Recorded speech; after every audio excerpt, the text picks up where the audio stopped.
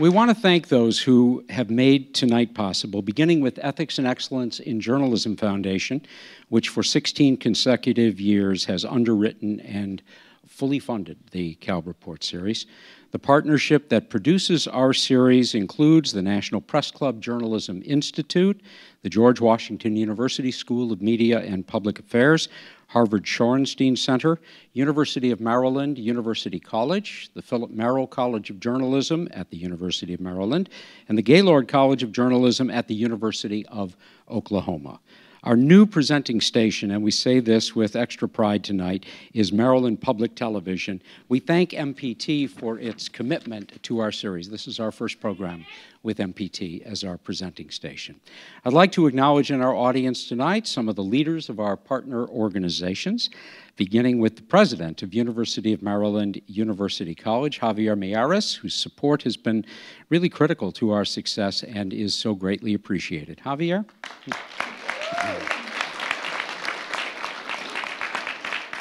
From the George Washington University, the director of the School of Media and Public Affairs, and a mighty fine journalist in his own right, Frank Sesno.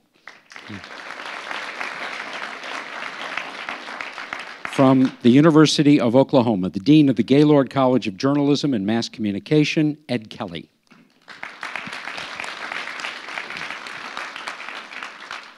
In our audience tonight, we have students from several universities and a number of working journalists, and we thank you all for your support.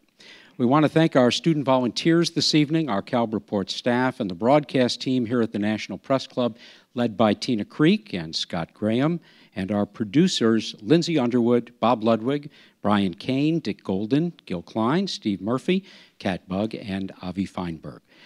A very special thanks to our senior producer, Heather Date, who is down in the fourth floor control room, and to our director, Shelley Schwartz.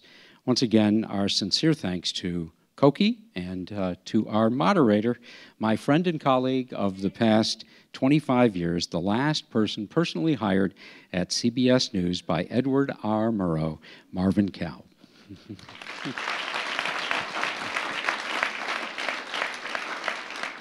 When we're all done tonight, we have an announcement about our next program. We're going to hold that until the end of the program. And um, so uh, before you leave, uh, we'll be able to tell you about our next program.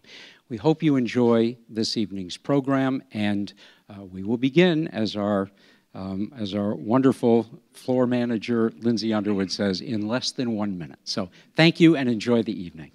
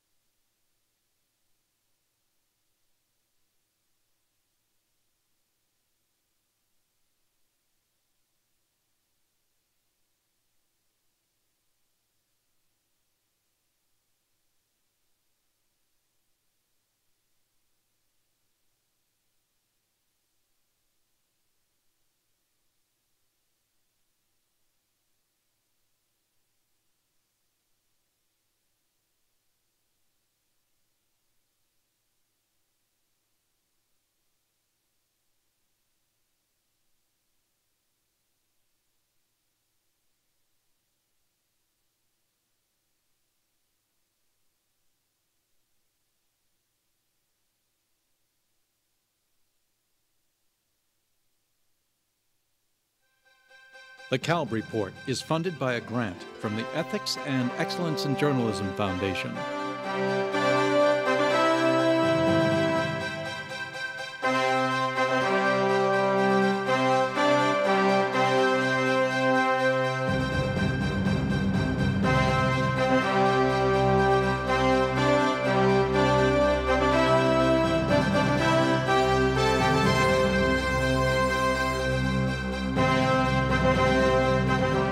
From the National Press Club in Washington, D.C., this is the Kalb Report with Marvin Kalb.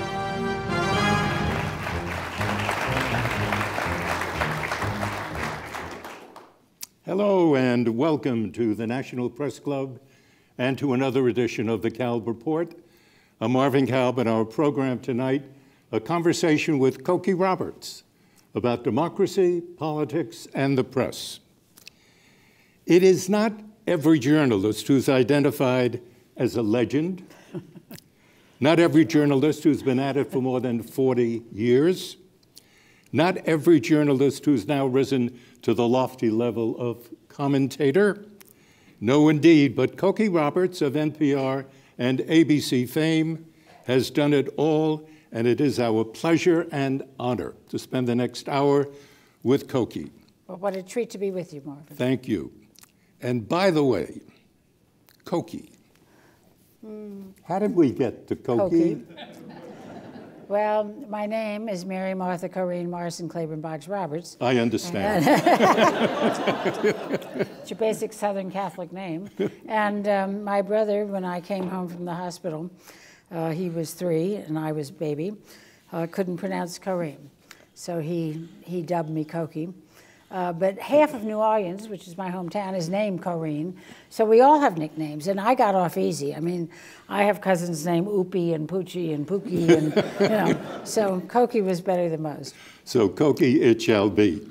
Now you come out of a distinctly political family. Your father, Hale Boggs, was for a time the House Majority Leader. Lindy Boggs, whom I remember very well, your mother, who served for nine terms in the House. You could have gone into politics, I imagine, but at a certain point you married a guy named Steve Roberts, right. and he was a reporter, and you had that pull in one way or the other be a journalist, be a politician. If you look back upon it now, did you make the right call? Well, you know, it's, it's like anything else. You, you know, you, I've been married for 52 years, um, and I can't imagine anything else. uh, so it is it's like people saying to me, what was it like to grow up in a political family? How do I know? You know, it's the way one grew up, so I don't know the difference. Um, certainly, uh, it's been a wonderful life. I've been able to do great stories. I've met fabulous people. I've uh, had that incredible privilege of having a front seat to history. Um, and I've certainly enjoyed uh, writing the books that I write, uh, or I enjoy them when they're done.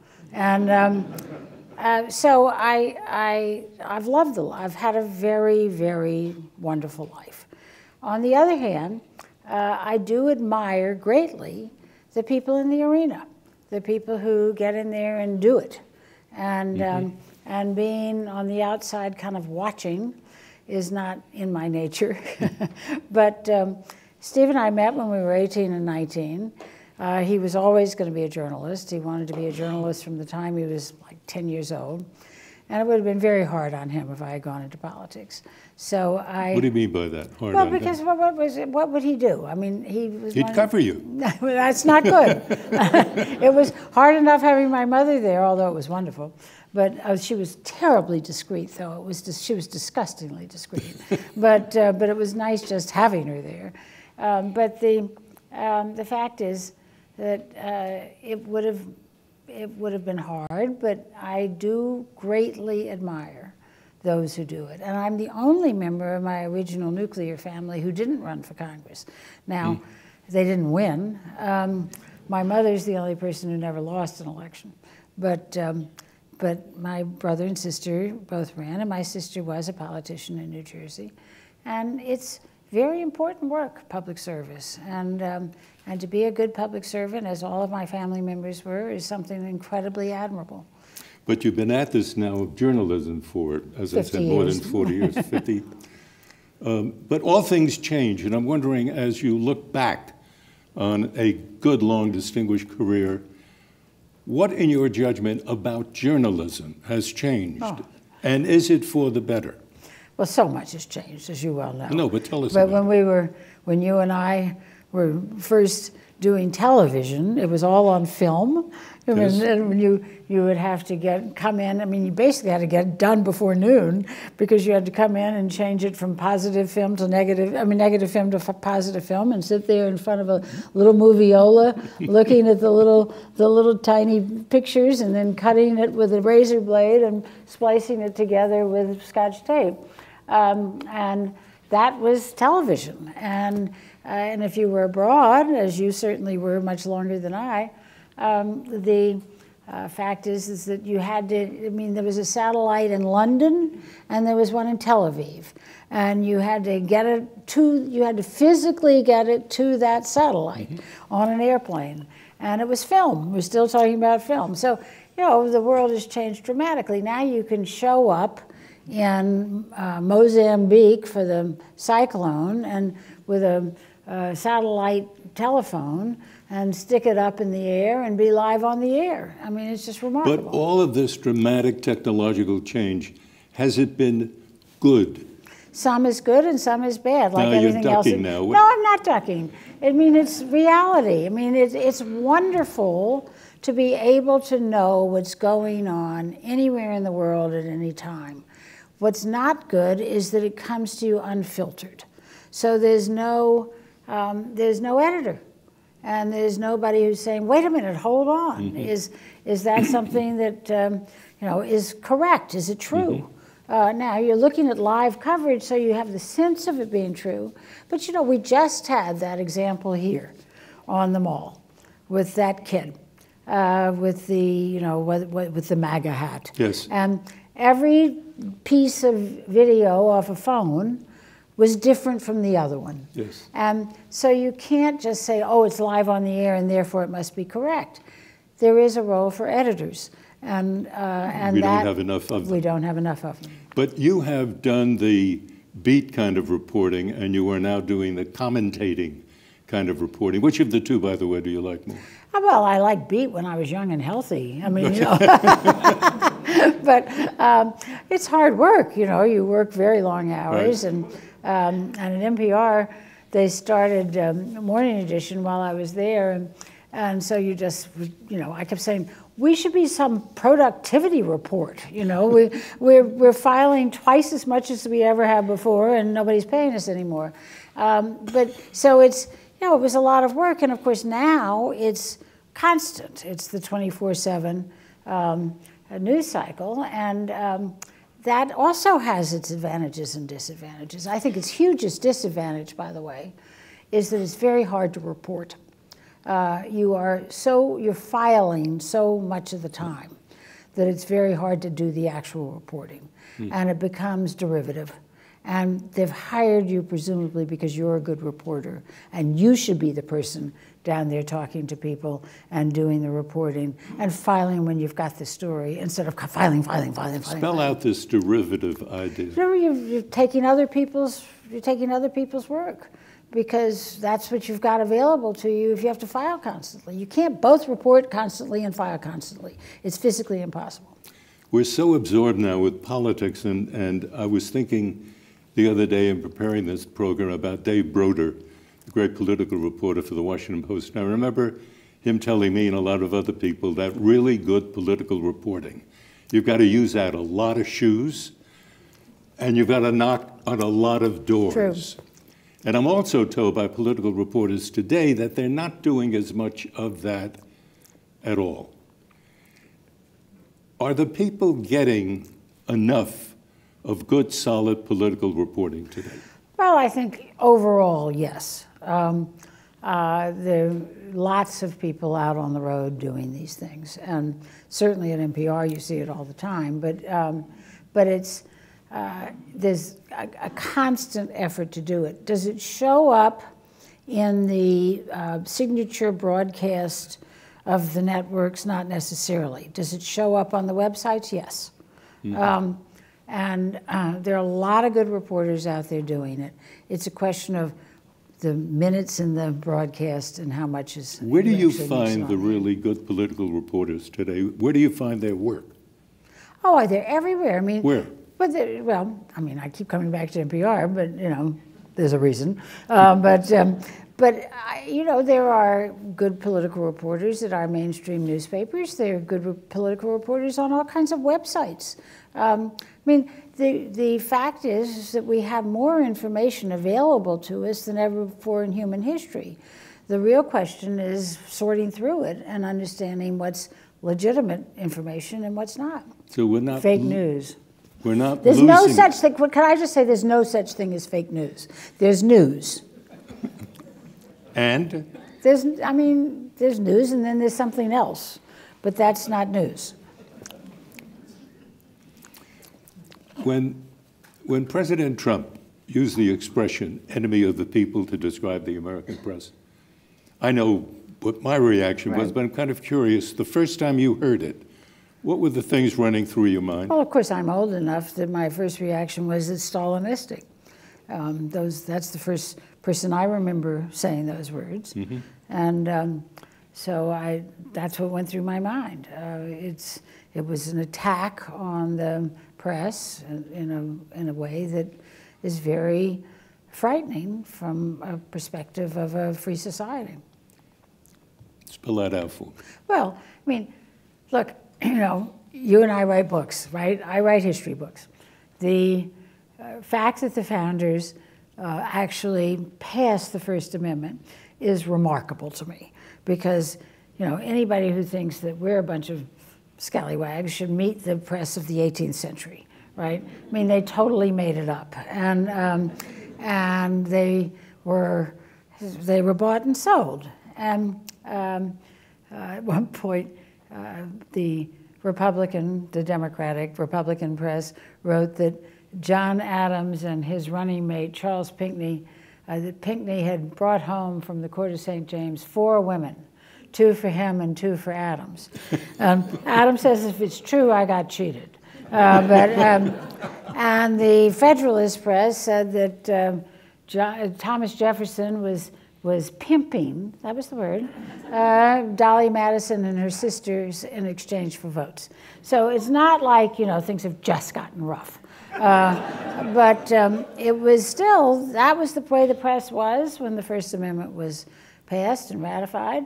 And um, there was a very strong sense that remained true even when members of the administrations of the past wanted to take members of the press out and shoot them. Um, that, that this was absolutely essential to a free society. Um, uh, now Jefferson famously said, "If I had to choose," you know, then he changed his mind, but you know that was typical of Jefferson. That was But after then- he left. right? After he left. But um, but so uh, to to have, I mean, our presidents have had fights with the press forever. Mm-hmm. Abigail Adams talked about the scurrility of the press, a word we must bring back, um, and um, the Alien and Sedition Acts, all of that. Mm-hmm. But uh, but in the end, they have either given in or they have come to understand the value, and. Uh, They being the president. Right. And, uh, and now we're in a position where that's really not the case. So we cannot count on history being the guide now for what will happen next. No, of course not. I mean, you can hope, and you can always hope that American institutions are strong enough, which is my fundamental belief, but that's because I'm a Pollyanna. But the, um, but I, you know, you, you have to, what you can't do is just say, oh, it's all going to be okay. You have to be in a position to say, we have to defend our institutions. And for those of us in the press, and the press club has really been rising to this occasion beautifully, um, is to say, we, we can't just let this pass. We can't just say, oh, okay, presidents have always hated us. We are not the enemy of the people, and we have to make that very, very clear. But there are, There are still, according to the figures I have in my mind anyway, 32% of the American people, Democrats and Republicans, who agree with the president Sure. that um, the enemy of the people is the press. 32%, that's one in three Americans who actually believe that. Well, pretty much 32% of the people agree with the president on everything. And no, and, and I'm not saying that facetiously, that's the number. Um, and um, he, he has that core support, regardless of what happens. Um, but the, uh, but people don't like the press. We were never meant to be liked. Um, you know, that was not, our job is not to be liked. Uh, but we, but we have an important job to do. I do think that what this situation uh, creates is something quite useful, which is that we have to be absolutely on our toes. Um, that you, you know, you basically can't get anything wrong. And that's good. That's a good thing. It's hard, but it's a good thing. I can't say your tie had broad stripes. Actually, the gold ones are, but the blue ones aren't. So I'd have to say, broad gold stripes, narrow blue ones. Just stick to, I mean, be Do you as- like it? I like it. It's a very nice tie. My high school colors were blue and gold. But, um, but I was on the gold team, so I like the big gold. But, the, um, but the, the truth is, we have to be very, very careful. And that's good. Okay, on the issue of the coverage of the Mueller report, for example, you know very well, and it may come back to what you said a moment ago about the 32%, but a significant body of American opinion believes that the press botched that coverage completely.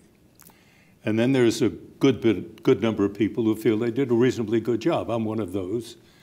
Um, I think that the American people would not know 90% of what they know about the Mueller report and what it talks about uh, President Trump had it not been for the press. But the, the problem is this the press and the press and the press and the press, right? All right, so what are we talking about? So if you're talking about people on cable television screaming and yelling, and, uh, and people who, you know, I mean, frankly, if you look at, you know, the right wing and left wing cable television, I don't think, I mean, I frankly don't watch them, uh, but um, from what I hear, uh, they, you know, there was a lot of, of hype.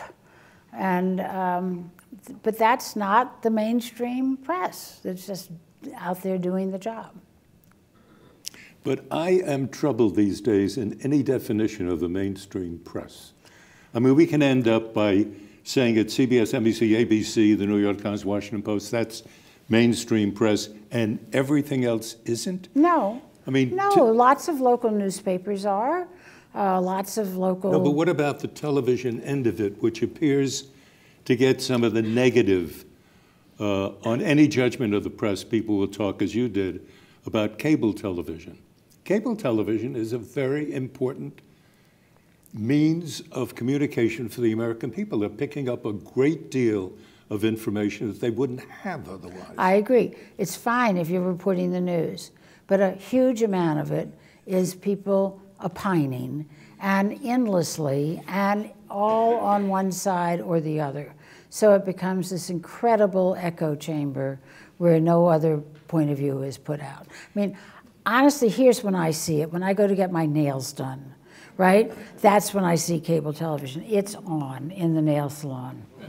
I mean, I'd prefer soap operas. And, um, the, and I, I'm gobsmacked by it. I mean, it's just people yelling and screaming. And um, it's, not, it's not illuminating. But Cokie, I don't think, forgive me, but I don't think it's fair to equate the right and the left. Um, the right is almost, I'm talking now about Fox News. Fox Cable News is almost, in what it is that it says, an arm of the White House. The MSNBC equivalent on the quote left does make an effort to try to find out what's going on, and they bring Well, in people who do. NBC News does. NBC News does. But the, but the talk shows are an awful No, no, lot. I'm aware that the anchors for the talk show on both Fox and MSNBC do have very strong points of view, and they express them. And I've got no problem with that. We know what they are. But when you say, has the press covered this well? Who are we talking about? Are we talking about everybody? Because if you're talking about everybody, the answer is, you know, a lot of people didn't. No, but this is exactly what I'm trying to get at. the difficulty of defining the press, what it is that the press does. Where do the American people get information that they can find that is reliable? There was a time in both our lives when we were involved in passing on information not to score any political point, but genuinely to pass on as solid information as we could produce. Um, I sense that the American people don't expect that of us anymore. And, I they didn't in the olden days either. Uh, you know, uh, and not just in the 18th century. I mean, think about uh, early 20th century newspapers.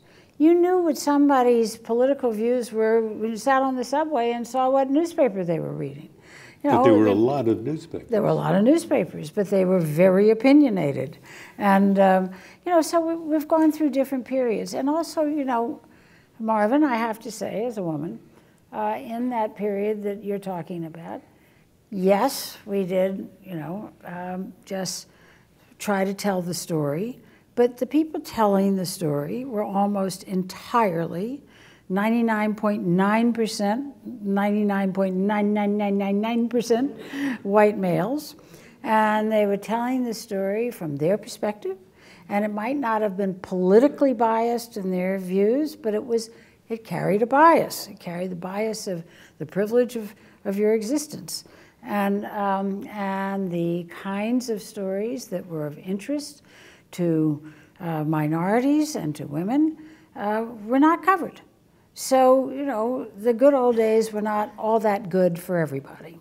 No, fair enough, fair enough. But what about the people who were not the anchors then? Uh, the women, minorities? Well, hardly any of them were, were on the air or in the papers. I No, mean, no, no. What I'm getting, what I'm trying to understand, whether you think that the white male delivering that news was giving them slanted news? no, they were just giving them the news that interested them. Look, in every But newsroom. what do you, but wait a minute, wait a minute. Interested them? They were journalists. They yeah. weren't interested in what happening. But, but Marvin, in every newsroom, you know very well, you've, you've got stories and stories and stories. So the lead story is usually as plain as the nose on your face on most days. Not every day, but most days. But then there are all those other stories. And those other stories are stories that someone brings to the editorial meeting. And when they bring that story to the editorial meeting, that story comes from you know, something they're experience. interested in. Yeah. And you know, I always say it should be, you know, people who believe in rocks and people who believe in rock and roll. I mean, it should be people with all kinds of different interests, of all kinds of backgrounds, of all different ages. Uh, and, uh, and that's when you get a yeasty, good, full report uh, that, that really represents America. Totally agree with you. Moving on. In politics, in politics, um, I always get asked this question about foreign affairs. So going to ask you a question about politics. Is there a story that when you look back upon this many years, you look back and you say, wow, that was a humdinger. I love that one. Which one was it? No, you know, I'm terrible at this. Um, and partly because they're all so different from each other, you know. Um, uh, I mean, there's some that are just fascinating, and often those are voter stories, you know, um, just going out and I'll tell you one that's just, I don't see it as a humdinger, but it was very enlightening. It was in Belzoni, Mississippi, uh, at the Rotary Club. Now, in those years, I was always the only female at the Rotary Club other than the piano player. And, um, and these were farm equipment salesmen, um, um, insurance guys, some of them were actual farmers, and then dentist lawyers, et cetera. And this was 1982. And Reagan was president, and they were saying, you know, we really don't like all this spending on defense. I'm saying, what? You're in Belzoni, Mississippi. You're supposed to love this spending on defense. Um, and they said, no, we run businesses. Nobody can take that much money into a business that fast and have it run well. And I thought, well, this is interesting. This is new information. And, you know, you get, you just have moments like that where you just uh, get something that's completely away from the, uh, the wisdom of the day. Watergate. And, uh, well, I didn't cover Watergate. Uh, I was in Greece. Um, and that was a great story. Um, that was the fall of the junta and the return of democracy and the, um, the referendum on the monarchy. And yeah, it was a great story. Uh, my, the, um, Steve was, had gone to Cyprus uh, to, uh, because it was falling apart. And um, I was stringing for CBS, and I got a call in the middle of the night, and uh, CBS says, um, the Turks have just invaded Cyprus. and I said, oh my God, Steve's there. And they thought it was a competitive statement. They said, they said, well, we've got a man there too. And I said, not the point. but um, so, you know, that was, that was heady stuff um, and very dramatic. But, you know, and, and covering papal elections, honest to God, there's nothing like covering a papal election. Nobody has a clue. I mean, it, we are so ignorant when you're covering a papal election, you can't imagine, right? And the, they are just hysterical. The last one uh, for Francis. So uh, before that, ABC had been able to get this wonderful balcony of Cardinal Baum, but then he died. And um, so nobody else was willing to do this. And we had this set that was like an erector set. It really was. It was this terrifying thing on top of the Santo Spirito Hospital. and the Santo Spirito Hospital was 16th century. And it's still a hospital. I mean, you really hope the Santo Spirito shows up. And, um, and so we climb up, you know, to this terrifying erector set thing that's blowing around. It's freezing cold. It's pouring rain. And all of the Vaticanistas, who are men who pretend that they know what they're talking about, and of course they don't, uh, have said there's no way there's going to be an election today. And so you're sitting up there for hours staring at a chimney. I mean, you know, it's, it's ridiculous, right? And, and at one point, a seagull took up residence on the chimney and immediately got a hashtag, Sistine Seagull. And, um, but you knew there was no heat because there was a seagull up there. And, um, and uh, finally, smoke comes, and at first you can't tell what color it is, and then it's white. And oh my God, there's a broadcast to do, you know. So everybody sits up and buttons up, and you know, we haven't a clue what we are talking about, right? I mean, you know, and it's a full hour between the time the Camerlengo, whatever his name is, comes out and says habemus papam, or, or the, no, the smoke comes up, and then he comes. So we're just making it up, you know. What does it mean that it happened on Wednesday and not on Thursday, you know, and all that. And, uh, and finally, he comes out, and I had, of course, done my good girl homework, so I knew all the names and everything about all the papabile, and, um, and then they say Bergoglio who the heck is Bergoglio, right? And so I'm frantically going through my papers and find him. And then I say, live on the air, this very sophisticated line Hey, wait, everybody, this is a big deal. He's a Jesuit. And then I get this look of, what? Huh? Jesuit? You know, so then I have to explain all that. Oh my goodness, it was quite something. But, but you know, but that was a good example of what I was starting to talk about earlier, because as we were sitting up there being miserable in the rain and, and wind, hundreds of thousands of people came into St. Peter's Square. Sure. And with umbrellas and all of that. And I thought, they're crazy. These people are crazy. It's freezing cold, and they're looking at a chimney. And then I thought to myself, you jerk. You know, you get to do this all the time. Mm -hmm. You are so privileged to have witnessed history over Absolutely. and over and Absolutely. over again. And these people are having their moment of witnessing history. And what a what an incredible joy and honor, frankly, it Absolutely. is for us as journalists to be able to do that. Okay, I want to take a minute now just to uh, tell our radio and television audiences to identify us.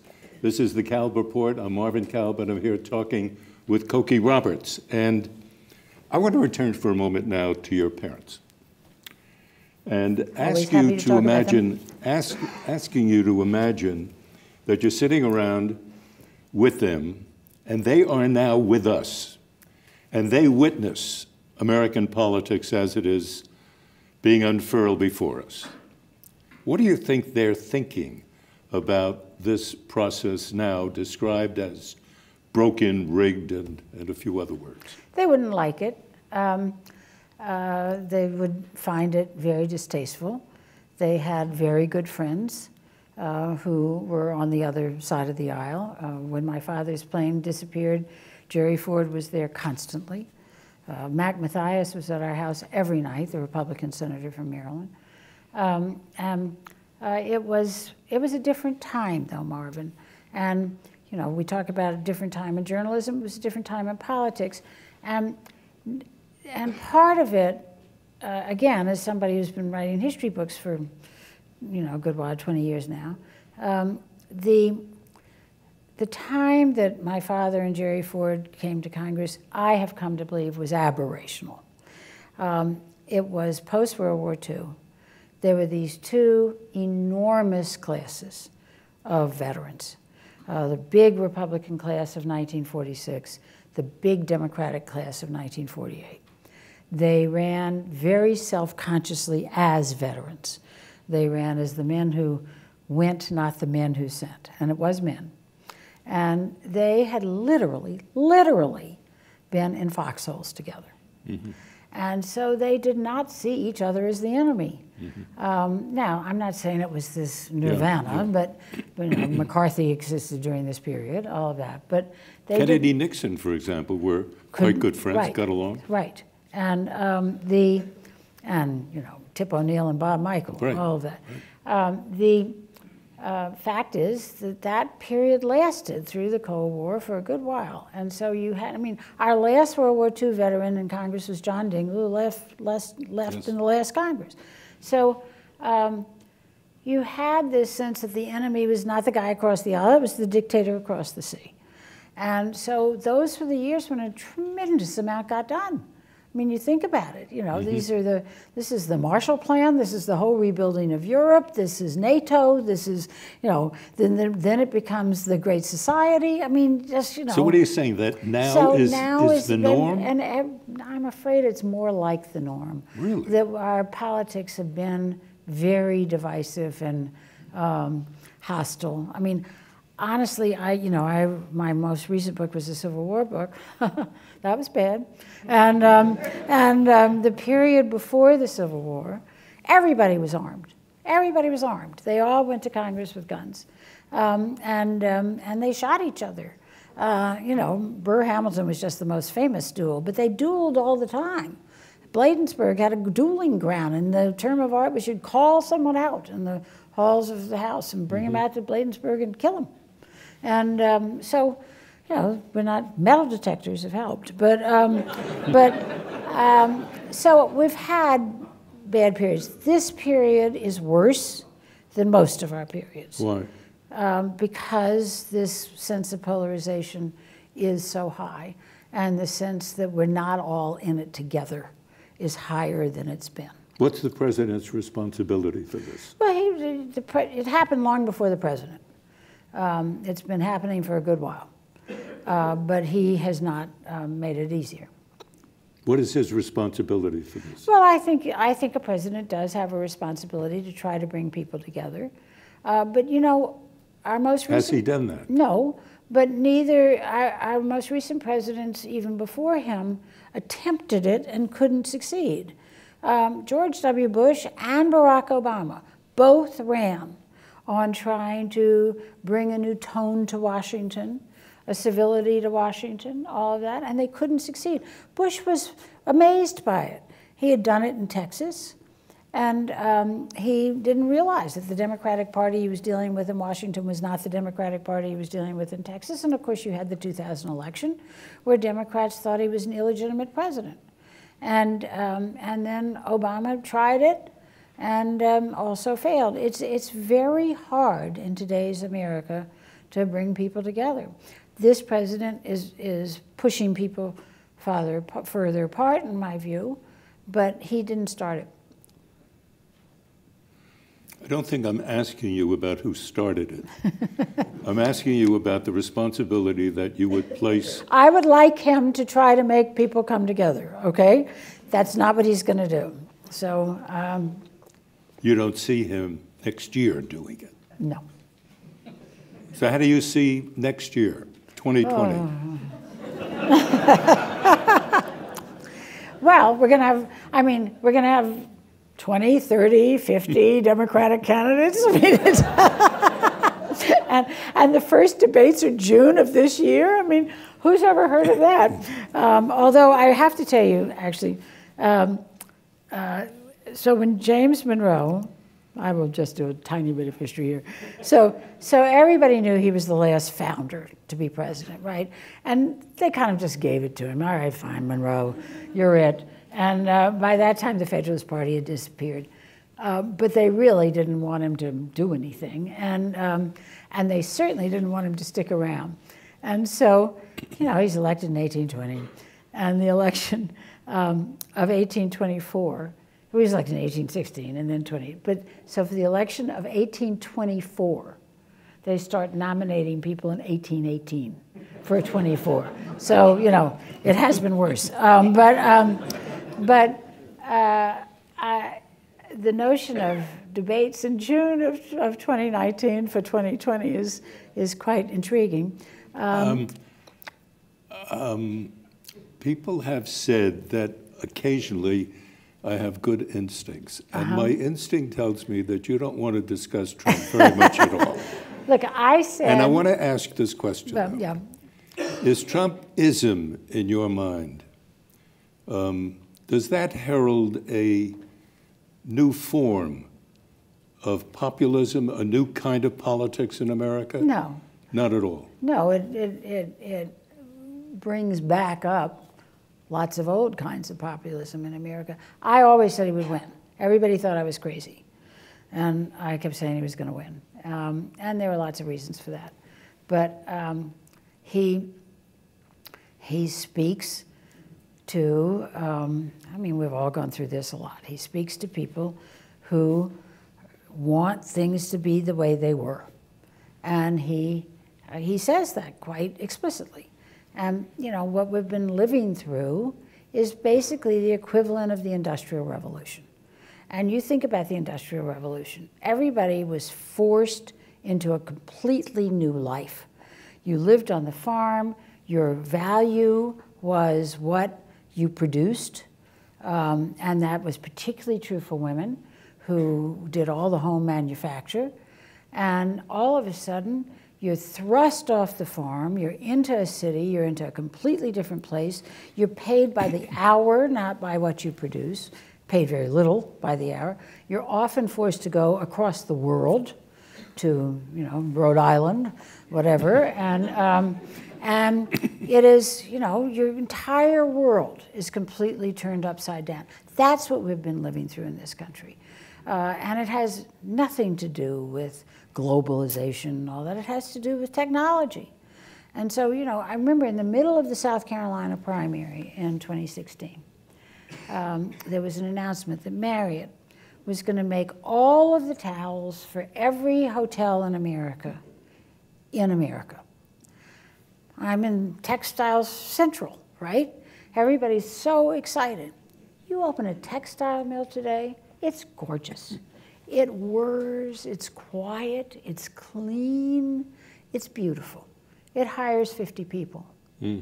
You know, um, that's technology. And the people who are running those machines have to have an education.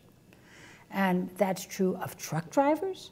They're running computers where they have to have an education. They don't have to have an, a BA from, from the University of Maryland University College, but they need to have they need to have training. They need to have education. And people who have spent their lives having very good lives working on an assembly line where they had a house and a boat and they expected their kids to go into the same line of work feel unmoored. And I totally get it. And you combine that with the fact that there are all the cultural differences in society and the demographic differences in society, and people don't recognize their America. And that's what Donald Trump has been speaking to. Now, it's a false promise because you can't recreate the past. But it's very appealing to people who did very well then and don't feel that they're doing well now. Okay. Um, you made um, a large point earlier in our talk about men dominating the news environment. In recent years, there has been a lot of talk about the mistreatment of women in newsrooms. Um, that's a very, very serious issue. And it's a good thing that it is now being discussed, and there are steps being taken to try to correct that whole thing. What is your impression right now of the position of women within the news business? Are they being treated properly? Are they being respected as they should be? Well, again, it depends on where you are, but is it is it day and night different from when I went into the news business? Oh yeah, you know. I mean, at that point, you had men saying to you, "We don't hire women to do that," with their hands on your knee, and um, actually. Actually, I, I actually, with a member of the Senate one day, one night, um, was sitting at a head table, and his hand was on my knee, and I His picked. hand? Well, yes, his hand was on my knee, and Whose I picked. hand? I'm not going to say. I, I picked it up, put it on the table, and said, "I think this belongs to you." Um, but, but I mean, it was so blatant, you know, uh, and and the discrimination was so blatant. Uh, so honestly, we we cared less about the harassment than we did about the discrimination. Um, you know, give us the job and we'll we'll escape you. And um, I mean, my colleague Linda Wertheimer talks about when she was an intern for a senator where he was chasing her around the desk, but he was so slow that, that she was having to kind of work her way around it, you know. But so, I mean, it's, I think it's wonderful that young women feel the power to say, don't do this. It's inappropriate, stop. And, and, and for men to be called out on it. Um, that's great. It's very different from when I was growing up. Did you yourself ever, did you ever feel mistreated? Oh, sure, all the time. I mean, that was the way it was. You know, uh, I graduated from college in 1964. Um, I'm dating myself there, but it's all public record. Um, the, um, and uh, the Civil Rights Bill of 1964 was passed in July. Uh, some of you remember. Before that, the help wanted ads were white, colored, male, female. That was the way it was. And the only reason women were included in the Civil Rights Bill was because two brave women, a Democratic Congresswoman, Martha Griffiths, and a Republican Senator, Margaret uh, Chase Smith, uh, put it in in the employment section. You know, it's so interesting. I talk to young women about this all the time. They all know what Title IX is. They all know, they don't know it's Title IX of the Education Bill of 1972, but they know it's Title IX and they know that the sports that they're able to play sports the way they are because of Title IX. They mm. really know it. Nobody knows what Title VII of the Civil Rights Bill is. It changed America for minorities and women. And it says, you know, you cannot discriminate in employment on the basis of race, religion, national origin, color, and then Margaret Griffiths put in sex. And the men in Congress thought it was a riot they brought it up, laughed about it. She said, you know, this shows you why we need it. And, um, and now that we have the wonderful Johnson tapes, that night, um, you know, the, the strategy was to get the bill through the House as cleanly as possible because the Senate was going to be the problem, right? And so Jack Brooks, the longtime Texas congressman ended up chairman of the Judiciary Committee, calls Johnson uh, to say, we've got the bill through, we've gotten it through. And Johnson says, is there anything in there that's a problem? And uh, Brooks says, well, there's something about women, but I think it's fine. And there's something about women, but I think it's fine. That's what changed employment for women in America. No, that did it. Cokie, there are probably in the audience here young women who will want to go into journalism now. Do you have specific advice that you would give? Sure, go for it. It's fun. It's fabulous. I mean, I've been talking about this incredible honor of, of being there when things are happening, mm-hmm. but it's also fascinating.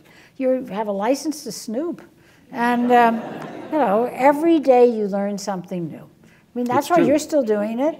You it's true. Uh, every Absolutely. single day you learn something new. I want to switch subjects on. Um, Murrow spent a good bit of time thinking about the role of television news in the nurturing and the strengthening of American democracy. And I'm wondering if you have an overall sense about whether television news, as you know it and as it continues to be presented to the American people, does it strengthen our democracy as you see it, or in some ways weaken it? Well, again, there's news and news and news. I mean, that's where Oh, we are today. No, no, but I'm seriously. I mean, when you were starting out in television news, there was ABC, NBC, and CBS. Actually, there was actually NBC and CBS. and then No, and- ABC did come along. and then it came along, right? But um, so you know that was a very different era, and in that era, you can certainly make the case that it strengthened American democracy. And now? Um, well, now it's much more diffuse, and so you have the same uh, uh, same sort of issues going on in television news that you have in the society as a whole. You don't have what we don't have is any kind of unifying uh, organization of any kind, whether it's the news or whether it's the presidency or whether it's the Congress, and Congress actually means coming together. Um, there's nothing that pulls us all together as one people other than a tragedy um, or the Fourth of July. Um, and um, that's, you know, that's a, a troubling situation. I want to um, quote Murrow on what he said back in 1958. He did a speech in Chicago and talked about the impact of television news on, on our society. And you know this quote. He said, This instrument can teach, it can illuminate, yes, it can even inspire, but it can only do so to the extent that humans are determined to use it to those ends. Otherwise, it's simply lights and wires in a box. But then the quote that doesn't often get used. there is a great and perhaps decisive battle to be fought against ignorance, intolerance, and indifference. And this weapon of television could be useful. And I'm wondering now, from your experience, do you feel that television is being used by the networks today, now, what we experience day and night, to fight what Murrow called ignorance, intolerance, and? I, I think there's an attempt. Um, you know, you're always in the ratings game, and uh, and you know, unfortunately, you can't force people to watch what's worthy. Um, you know, we could tie them to a chair and put toothpicks in their eyes and say, "Watch this hour-long debate," but it's not going to work. Um, and uh, so, but I do think there's an attempt to try to get there. It's it's not um, it's not something as it was in Murrow's time. Uh, we're living in a very different time when people are so distracted by so many things, um, and to try to even get them to pay attention for any period of time is very, very difficult. But I do think that attempt is there. That's what those, you know, they're, they're kind of feel good attempts. Um, the things about, you know, American heroes or making a difference and those things that are in the network broadcast um, that are trying to show the best of society. And they are, they include very diverse people. Uh, and so I think that's where the attempt is, is in sort of showing America that there are, lo- there's a lot of goodness in this society and to celebrate that. But it's not sort of hitting people over the head and saying, you know, here's what we have to be, here's who we are as a nation, and here's who we have to be. It's telling stories. And telling stories is, of course, what we're all But about. of course, you can tell stories as you hit people over the head. A good story, no, seriously, a good story, you write them. I try to write them. If you write a good story, people might be interested Right, in what you're writing about, right? Absolutely. So, what I'm trying to get at here is perhaps resurrecting something which can't be resurrected. I appreciate that. But I do go back to Murrow often, I fear, because I don't see enough of the spirit that drove a reporter like him today. For example, on an issue like climate change, Murrow would probably say, and he complained about it in 1950 that it was not happening, but it ought to happen. But on climate change today, putting aside the politics of it, it is a big issue. There would be nothing horrific if every network would spend two minutes once a week, but regularly hit that story over the head. Bring it to the attention of the American people in a way that they then can do something about it. But at the moment, the only instrument that can do that, to the best of my knowledge, is something like television. People do watch television.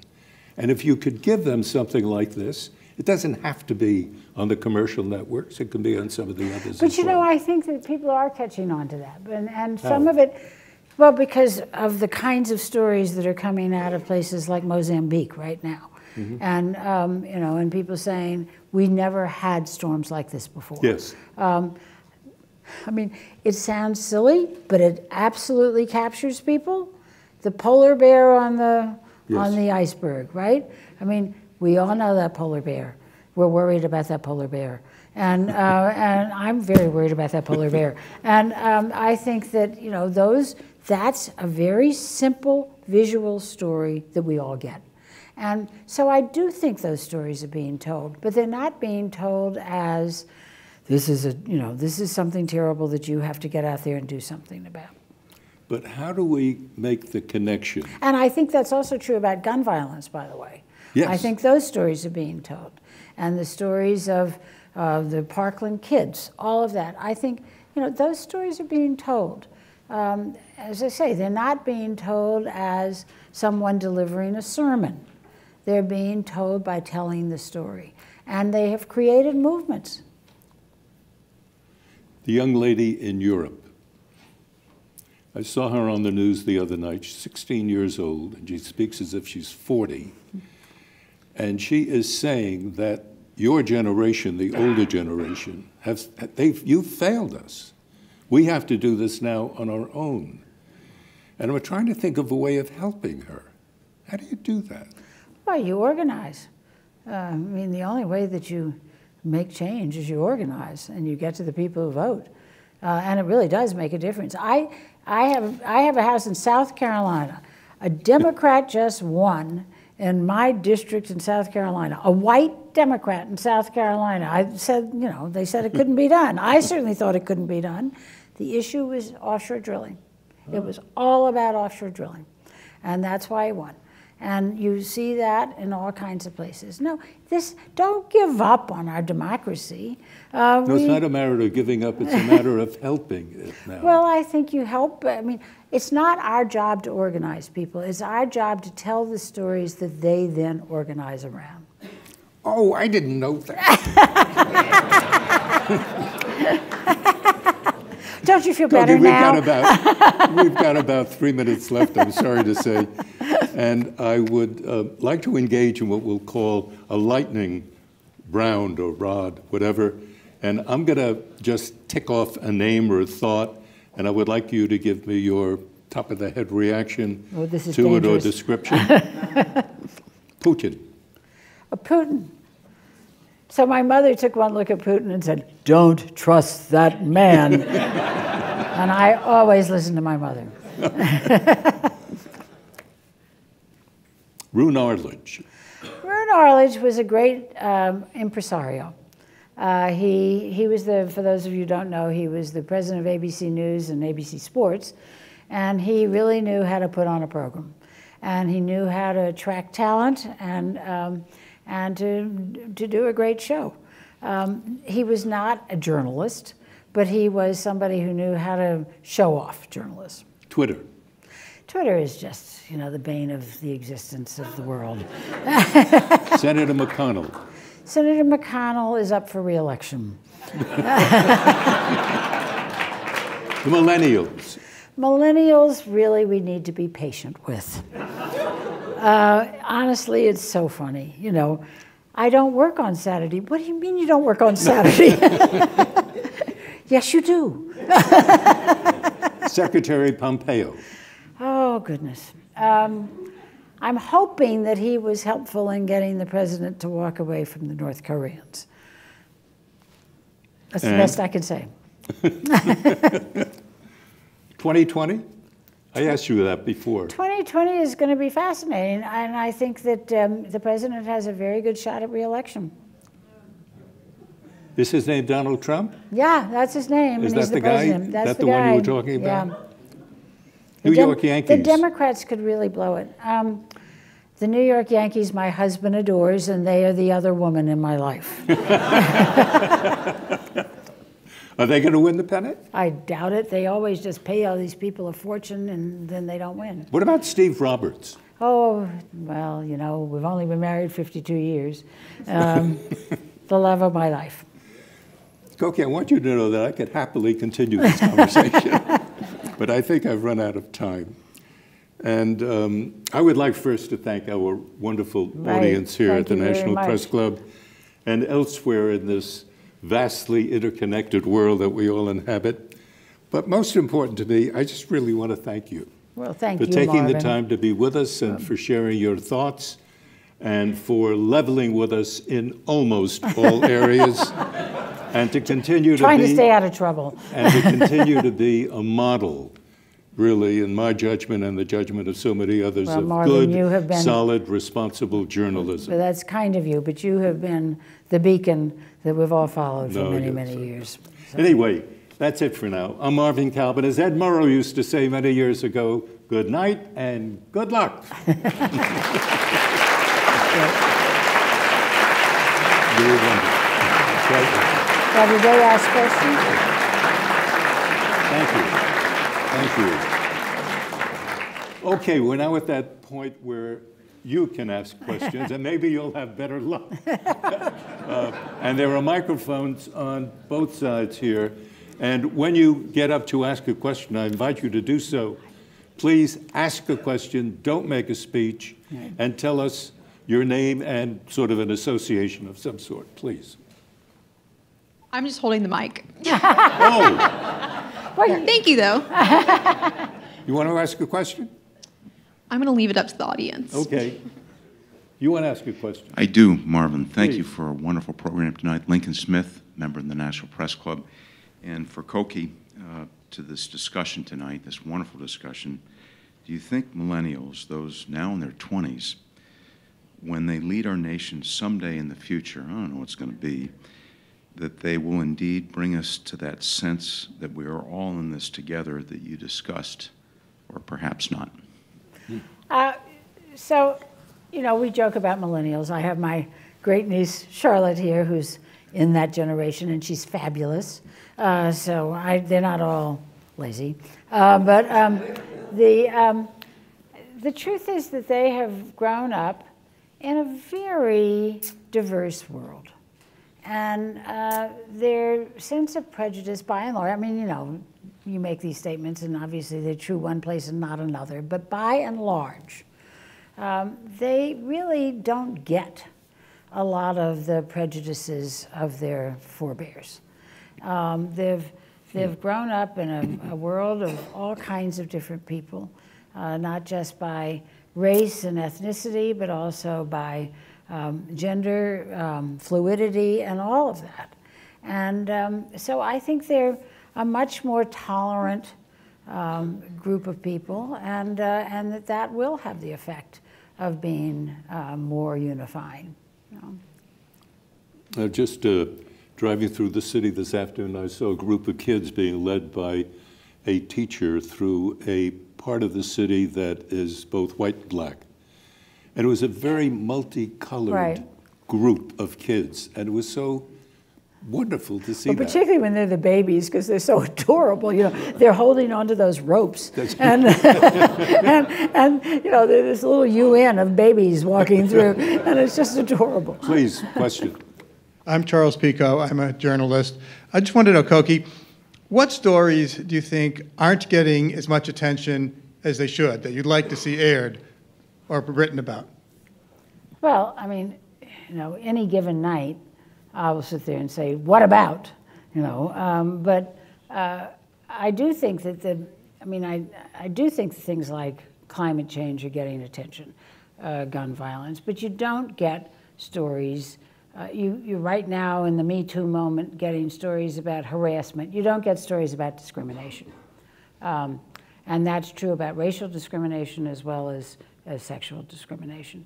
Um, you know, there's, there's, we're about to celebrate the centennial of, of women's suffrage. Um, you know, this should be a moment to be talking about pay equity and equal rights and all of that, and we're not doing that. Um, but I'm sure there are tons of stories that aren't getting covered. That's why I keep saying newsrooms have to be as just incredibly diverse because people bring to the table stories that they're interested in that I wouldn't even know about that need to be covered. Mm-hmm. Yes, please. Hi, um, my is Jason Pico. I'm wondering about your thoughts about uh, doing away with the Electoral College. Oh, I'm totally against it. Uh, I have strong views on this subject. Uh, when my Share them. when my father came to Congress in 1941 at age 26, um, he actually immediately put in a constitutional amendment to abolish the Electoral College. He was wrong. And, um, and in fact, when they, the House did pass it in 68, and he was floor manager. But um, the reason I feel strongly against it is because without it, what we would have is a national election. So it would be all money. It would just be about money. And um, people, it's not just small states who would not have a say, but it would be um, minority groups who would not have a say. So, you know, the Jewish vote in America is about 1% of the vote, but it's a very important vote in Florida. It's a very important vote in New Jersey. Um, the black vote in America is about 10% of the vote, but it's about 30% of the vote in, in Georgia. Um, you know, the Hispanic vote in America is about 12% of the vote. Well, it's working its way up to you know 30% of the vote in Colorado. Um, so what you have is the ability of groups uh, to have much more of a voice and much more say uh, as minorities than they would have uh, in just a nationwide election. And the complaint that I hear from people is that, you know, um, that you, you don't have a vote. You know, if you live in California, it's going to be blue. If you live in New York, it's going to be blue. If you live in Texas, it's going to be red. That's not true. It's true right now, but it won't always be true. I mean, I, I covered in 1980 Texas moving from blue to red. Um, you know, it's states change. New Jersey used to be red, then purple, then blue. You know, states change. Demography changes politics. And uh, I think that um, our various minority groups should have the opportunity to have a louder voice than they would in just, just a nationwide election. Um, it's interesting when that when it did when the um, amendment did pass in 68 uh, the groups that were against it were the Black Caucus, which was tiny at the time, and, um, and Jewish outside groups. Mm-hmm. You know. Yes, please. Hi, my name is Christian Zuniga Cokie. I'm with the University of California, Santa Cruz. Um, you said earlier. How much fun! it is. You said yeah. earlier that. Uh, the banana slug, right? Banana slugs. Right. That's the mascot. You said earlier that we can't make people watch what's worthy. Um, do you think that's why there's an emergence of so-called fake news? I know you don't believe there's such a thing as fake news, just news. But do you think that is also a reason of why news outlets have sort of lost validity among the people? And no. how do they gain that trust back? No, I don't think that's right. Um, no, I think that you have, you know, people watching all kinds of stuff because it's there. You know, I mean, YouTube. You know, how much how much time do you spend watching YouTube? You know, um, net. You know, there's just so much out there to be watching. There's Facebook taking up a huge amount of time. There's Instagram. There's you know, there's so much distracting you uh, from just doing something that's kind of really serious news. And um, I think that that's that, that that is where we are right now. There's just a whole lot coming at you, and you can you know, you, you have the opportunity to spend your day watching almost anything you want to watch, and it doesn't have to be serious at all. But there's an interesting point that the young man mentioned that the idea of trust. You lose trust, it's hard to get it back. Well, that's true, but I don't think we ever had much trust. and, um, and that gets back to that question of liking the press. I mean, you know, you were in a golden age with Edward R. Murrow. And it, it gets back to what I was saying about that period in Congress after World War II. You know, when Murrow went to cover World War II, he was wearing a United States military uniform. Yeah. And, and everybody was on the same side. There was not a question. Uh, and uh, censorship was accepted and was part of the story. Uh, I, my memory is that something like 1,200 journalists landed on D-Day. A Not- lot. I don't know Not one of them broke the story, right? I mean, they could be trusted to land at Normandy in the greatest surprise attack of the war. And um, You're not saying this negatively. no, I'm saying it was a different time, and everybody was on the same side. And we didn't, there was not a sense on the part of the press that the government Was was, evil. right, was something that they had to question and, and uh, go after. Yes, please. Hi, uh, Bruce Guthrie. One year from today, the 2020 decennial census will be sent out, uh, possibly with a question on citizenship, Right. pushing electronic re- um, responses. How do you think that's going to go? Well, the census is always fraught. Um, I mean, I wish that there was some way to make it perfect. Um, and of course, the, the smartest thing to do would just be to, to do what the census does for every other survey, which is uh, to, uh, to do sampling, which is what they do for every one of their other surveys except the decennial census. And they're kind of stuck with 1787 there, uh, with, which the Constitution says. Um, one year when I was covering the census, you know, because I'm fascinated by demographics in America, and um, I didn't fill it out, so the census person had to come to my house uh, so I could record her. Um, but um, she was a little intimidated. But um, the, um, but uh, I'm, I'm very disturbed by a citizenship question. We have trouble enough getting people to feel that the census is a, uh, an honest, um, just study of who's in America. But they're incredibly useful. Um, I mean, now so many censi are online uh, that you can go back and learn so much about American history by just looking at the census of 1930, 1920, you know, all of that. They're, they're online up to about 40. And um, so, you know, I, I want them to keep doing it, but I want them to be as unintimidating as possible. And that, sense, that citizenship question is a real problem. Okay, now we got a number of people waiting, so I'm going to ask you to give shorter Okay, answers. I'll be quick. Please, next I, question. I can do I can do broadcasting. My name is Ben Dieter. I'm a student at Miami of Ohio, and I'm curious, Cokie, across your career, how have you seen the differences between radio and television in terms of like which one does like certain things better? Have you seen those differences personified, and then how have you seen those two mediums like evolve into this new digital He era? wants a short. you want a short answer. No, no, I'd like you to do it in 30 seconds. So uh, the the real answer is the media are different. I mean, there's a reason I report for print, radio, and television. They're all different, and they all tell stories differently. And um, and uh, it's great to write something complicated in print, where people can go back and reread it. It's fabulous to tell a television story when you have great pictures, and people can just look at those and get it. Uh, and if you can write to those pictures, better yet. But you know, if they can tell the story, wonderful. And radio, you hear the voices, the intimacy, the accents. The it's it's just a fabulous medium.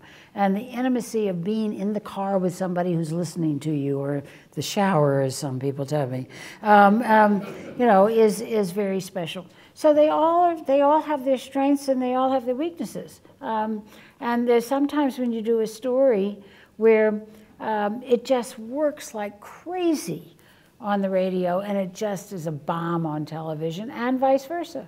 And so it, it really depends on the story. I That know was you don't like beautifully those. told. That was beautifully told. Yes.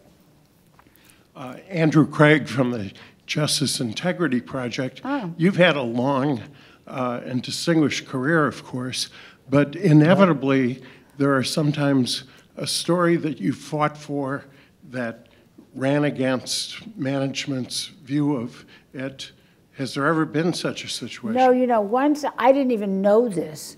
Uh, uh, the only time that I know of that management got involved in a story that I was doing, and I didn't know it till after it was over, um, was a story about election day um, reporting. And um, uh, we had a rule at ABC that you don't call an election until after the polls close in that state, right? Um, so I was doing something about, oh, I know, I was doing a story that said it actually makes absolutely no difference when you call an election, which is what the data shows. Uh, and, and everybody got all bent out of shape. And it turns out that because they were kind of negotiating with the Congress about it, and you know, I didn't know that. And um, they and I didn't care. I mean, I was just going with the story. But um, and nobody likes that story, by the way. Nobody likes the fact that the data shows that it doesn't matter when you report the results. Um, Mm-hmm. and the, what they always go back to is night. Oh, now I'm going on long. So that's the one. Your turn. Thank you, sir. Uh, hi, I'm Ben Crawley. I'm from uh, Roger Williams University. I'm a journalism student. Uh, Couldn't hear throughout my throughout my career there. I, uh, could, I couldn't hear what you said, but give oh, I'm Ben Crawley. I'm from Roger Williams University. Oh, great. Um, great. We saw each other. Yeah. Um, I was always told growing up that local newspapers and to an extent radio is a dying uh, industry. Um, how do you think, how important do you think local papers and radio stations are to journalism? Well, um, it's really interesting. There's some local papers that are thriving, uh, and it turns out to be smaller communities. And those papers apparently are doing very, very well, um, as opposed to like the Raleigh News and Observer, for instance, which used to be a great paper and isn't. Um, uh, or the Times Picayune Yeah. New Orleans, which was, Yeah. you know, a fabulous paper and now is a website. Um, but the uh, but small community papers seem to be doing very, very well. Um, in terms of radio, uh, I don't, I'm not that aware of local radio that much, but I can tell you National Public Radio uh, has, you know, more listeners every week. Uh, the NPR news magazines, Morning Edition, All Things Considered, have more listeners. Uh, Morning Edition has more listeners than the three network morning TV shows combined. Fantastic. And uh, yeah, Fantastic. yeah, by a good bit actually. And Wow. um, so uh, the medium is not the problem. The problem is what's on it in some local stations. Fantastic. Yeah. Okay, we'll take one more question, please, if there is someone to ask it. Good evening. Hi. Uh, my name is uh, Martin Gilbert. I am a student for France, and my uh, my uh, question is pretty simple. What do you think is the main difference between the press in the United States and the press in Europe, and, for instance, uh, my country, France? Well, you're probably a better person to answer that question than I am about France. But um, when I was living in Greece, I certainly saw a lot of the foreign press, as you have, Marvin. And uh, of course, a lot of foreign press is government controlled. Yes. Um, but um, uh, the, the British press is kind of like the American press of the 18th century. they make it up. Uh, and, and can I tell a quick story? Do we have what's the time? No, no, we're The- okay. Okay. The, so it was Aristotle and Onassis' funeral. And um, we're, we're going to uh, his, he's being buried off a little tiny island that he owns. So only the pool goes to the island. Steve was in the pool. I'm back on the slightly bigger island where the rest of us are all filing from a payphone. And there's a guy who's filing for a British newspaper uh, who's, you know, a Greek guy, and he's on the phone and he says, and the people lined up Quayside and they all wept. And I said, Chris, I didn't see anybody crying. And he said, oh, great, that's better, that's better. And none wept because, because they had no love for this oligarch, you know. it was great. Uh, but, but so, um, you know, I, I, I know that there are some wonderful uh, news outlets all around Europe, but there's some pretty funny ones too. Uh, we are at that time when we're going to wrap up the evening, and I just want to say as far as I'm concerned, I had a wonderful time So did tonight. I. And Thank thank you. you so very, very much. you. God bless you. Thank you very before you all go, before you all go, stay where you are for just one minute because Mike Friedman has an announcement that he'd like to make. Well, thanks everybody for joining us tonight. Cokie, thank you for a memorable program. We certainly appreciate it. Um, we hope um, that you can join us again two weeks from tonight, Monday, April 15th, at a special start time of 7 p.m. when we will present our next Kalb Report program, a conversation with Apollo 11 astronaut Michael Collins on the 50th anniversary of the historic moon landing. Uh, tickets are now available on our Kalb Report website, which is kalb.gwu.edu. So we hope to see you then. Again, uh, Cokie, thank you so much for this beautiful program. Thank you, Marvin. Thanks for being with us this evening, folks. Good night.